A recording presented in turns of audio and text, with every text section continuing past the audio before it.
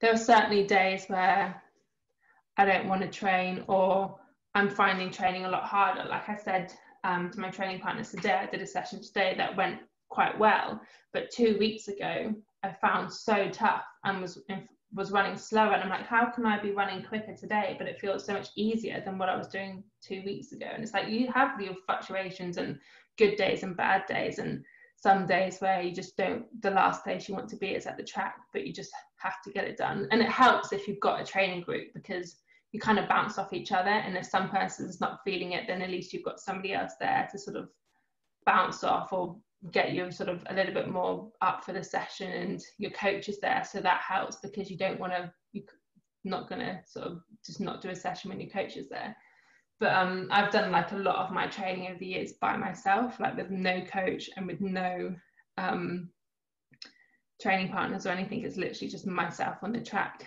And that can be quite that can be really difficult because like if I did my set if I didn't go to the track today and I, I could still text my coach like yeah these are the times I ran in my session. He wouldn't know that I wasn't at the track but yeah I would still go to the track and do my session.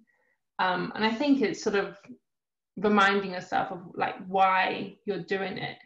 And it's thinking like you want to get to the Olympics you want to get to the world championships and you can't do that if you're not training. So it's sort of reminding yourself of the end goal that you'd have. If I didn't have like to me the sort of the people that would go out for a run at six o'clock in the morning before work i think that's so much more credible than what i do because i would struggle to do that i think um, if i didn't have that sort of aim of say the world championships or the olympics